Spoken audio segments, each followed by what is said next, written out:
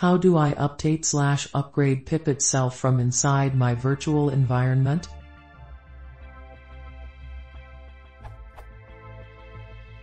I'm able to update pip managed packages, but how do I update pip itself? According to pip version, I currently have pip 1.1 installed in my virtualenv and I want to update to the latest version. What's the command for that? Do I need to use distribute or is there a native pip or virtualenv command? I've already tried pip update and pip update pip with no success.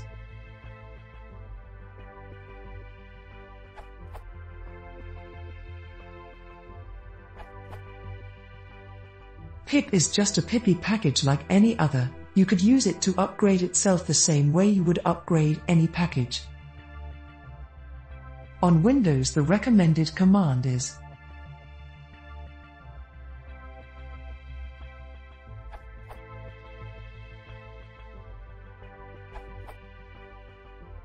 The more safe method is to run pip though a Python module. On Windows there seemed to be a problem with binaries that try to replace themselves. This method works around that limitation.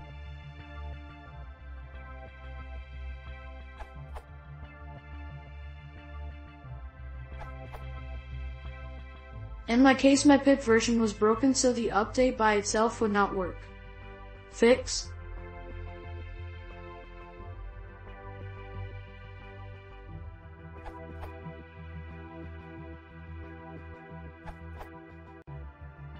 I tried all of these solutions mentioned above under Debian Jessie.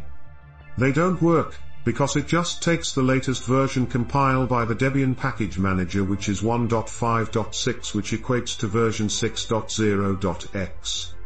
Some packages that use pip as prerequisites will not work as a result, such as spaCy, which needs the option no cache dir to function correctly. So the actual best way to solve these problems is to run getpip.py downloaded using wget from the website or using curl as follows.